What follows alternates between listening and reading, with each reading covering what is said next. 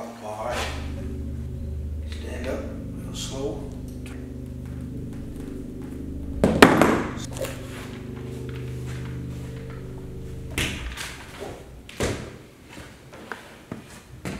Good.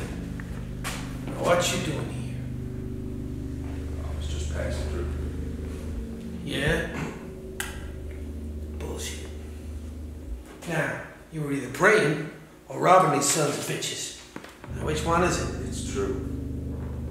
I was just passing through and come across all this. Now, what's all this? Body's dead. Is this your work? No. These men tried to kill me. I Already taken my. They set my home on fire and took my family. I didn't kill them. I wish I did. You know who killed him? Because I did. the chief. Put your hands down. Down. Down. Yep, the reason I put these low down Yankee lies out of their misery is because of this guy. I can't read. Who is this guy?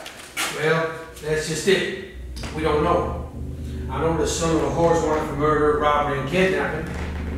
Uh, well, it ain't, that ain't no clear picture. Well, that's a good eye. You're right, it's not.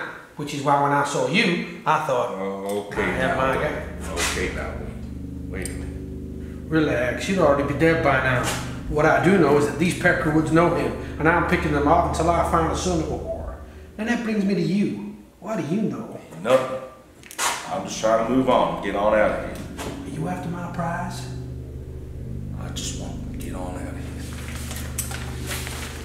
But are you after my claim? Is what I ask. You can have your claim. Good. But if I see the man you want, I'll kill him. Reward or no reward. He's taking what is mine. So you can pick the gold from his teeth when I'm done. Grab a blanket. It's gonna be a cold night. Might need that.